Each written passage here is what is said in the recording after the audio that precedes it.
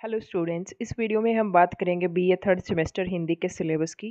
कौन कौन सी आपकी बुक्स हैं और कौन कौन से इसमें जो है राइटर या फिर कवि कवर किए गए हैं?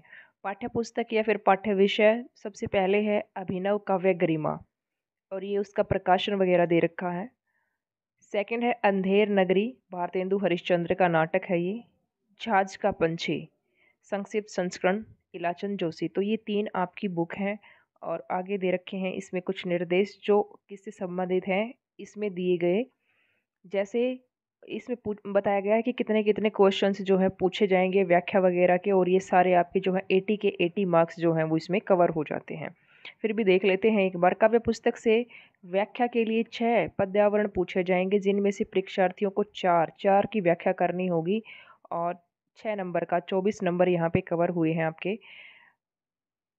काव्य पुस्तक से संबंधित चार कवियों का साहित्यिक परिचय पूछा जाएगा, जिनमें से किन्हीं दो का उत्तर देना होगा। ट्वेंटी टू मार्क्स का हो गया ये। अंधेर नगरी से छह लघुत्री प्रश्न पूछे जाएँगे जिसमें से परीक्षार्थियों को चार प्रश्नों के उत्तर देने होंगे। सोलह नंबर के ये हो गए। झाज का पंछी उपन्यास से पाँच आलोचनात्मक प्रश्न पूछे जाएँगे। तीन का हमें इसमें उत्तर देना होगा। तो ये था आपका हिंदी का सिलेबस। और इसी को ध्यान में रख के आप अपनी तैयारी करना एम डी यूनिवर्सिटी रोहतक का ये सिलेबस है।